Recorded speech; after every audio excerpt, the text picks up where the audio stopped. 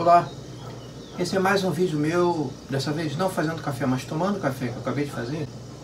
E hoje eu vou mudar um pouquinho dos assuntos que eu tenho trazido aqui. É, eu vou falar sobre três temas de cinema, tá? Para contribuir um pouquinho na curiosidade de vocês e vocês aprenderem um pouquinho mais sobre isso. O cinema, que, que as coisas, coisas bem curiosas que acontecem no cinema, que muitos de vocês já conhecem, outros não. São três itens. O primeiro é o Wilhelm Scream, ou Wilhelm Scream.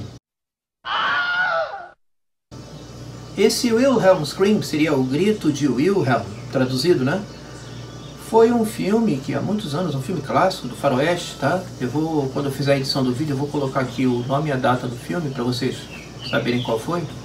Aonde um cowboy cai do cavalo e ele dá um grito. Então, é, o que que acontece é que naquele tempo, né, há muitos anos mesmo atrás, na época de 30, 39 por aí, o, outra pessoa foi fazer um filme e não conseguiu um, um grito tão bom quanto aquele daquele ator. Então o cara fez uma edição, pegou aquele grito emprestado e usou aquele mesmo grito, dublou o ator usando aquele mesmo grito. A história foi se repetindo e vem se repetindo até hoje, inclusive na saga Star Wars, em, em vários filmes, vocês iam ficar surpresos. Eu vou deixar linkado aqui na descrição um compilado de Wilhelm Scream para vocês ficarem sabendo do que se trata, tá? Para vocês verem a quantidade de filmes e eu garanto, pra, prometo para vocês que vocês vão ficar bem surpresos com os filmes que utilizaram esse recurso. O segundo item, segunda curiosidade, o MacGuffin. O que é o MacGuffin no filme? Bom, MacGuffin ele apareceu bem antes do Hitchcock, mas o Hitchcock se refere a ele assim.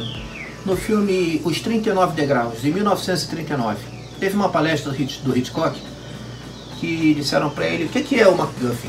Bom, eu vou explicar para vocês primeiro do meu jeito, depois eu vou dizer o que, que Hitchcock falou, tá? O MacGuffin é uma coisa no filme que é utilizado para manter o suspense.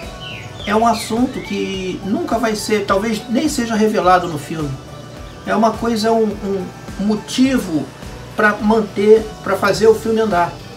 Tá? É uma caixinha de plutônio que foi roubada por agentes secretos e o filme rola em torno desse assunto. Isso é só um exemplo. Mas na verdade, essa caixinha é o que menos importa no filme. É, é isso é usado para manter o suspense no filme. Então, no, no caso dos 39 degraus, teria sido a primeira vez que o Hitchcock teria usado em 1939 esse recurso, mas um dos mais famosos é o Intriga Internacional, tem Star Wars, né? Tem muitos, muitos MacGuffin que estão falando nesse último filme do Star Wars agora, né? A extensão de Luke Skywalker, né? Tem, tem muita gente comentando sobre isso, sobre esses MacGuffins. Mas o que o Hitchcock falou sobre o, o MacGuffin na conferência dele foi o seguinte: tinha num trem duas pessoas conversando e uma delas perguntou: por que, que a sua mala está tão pesada? Ele fala que está um MacGuffin ali dentro. Aí o outro perguntou, mas o que, que é um MacGuffin? Ah, é um, um aparelho para detectar e capturar leões na Escócia. Aí o cara fala, mas não tem leões na Escócia. O cara, então também não tem MacGuffin. Ou seja, MacGuffin não é nada.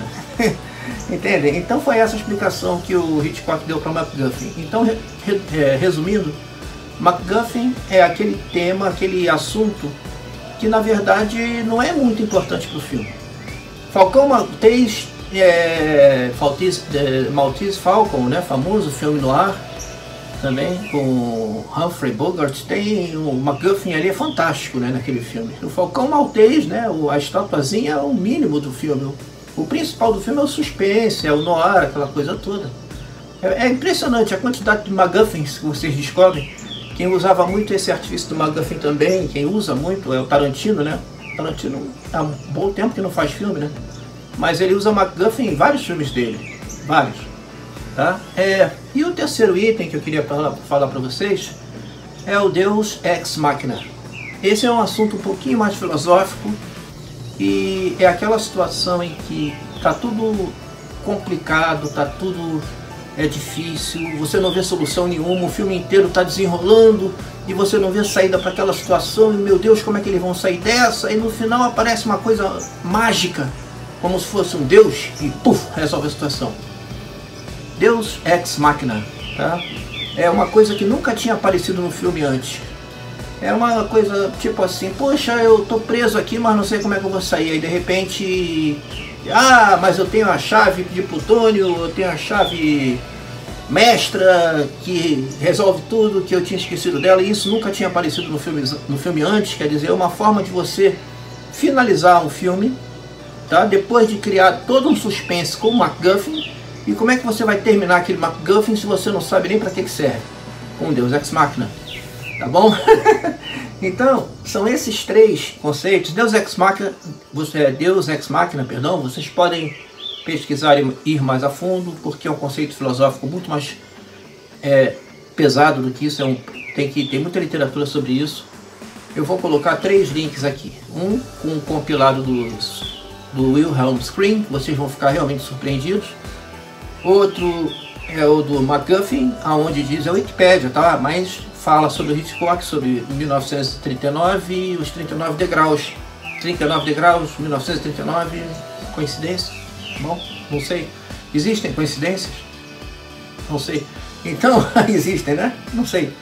Então, o que, que, que eu queria dizer com vocês sobre isso? É que vocês, quando prestarem atenção nesses detalhes dos filmes, vocês vão ficar, vão enriquecer muito a, a coisa de assistir o filme. Wilhelm Scream, então, é fantástico. Volte e meia eu escuto um filme que eu vejo pela televisão, um filme novo que aparece por aí, poxa, isso é um Wilhelm Scream. E também tem os Wilhelm Screams disfarçados, é, é, modificados, entende? Mas vocês vão adorar isso. O McGuffin também, né? E o Deus Ex Machina. Era esse o tema de hoje. Eu tomando café ao invés de fazer café. Um abraço a todos. Inscrevam-se nos canais da Resistência Científica, tá? Eu tenho orgulho de fazer parte dessa família. Só tem gente boa lá, só tem vídeos confiáveis lá. Fui!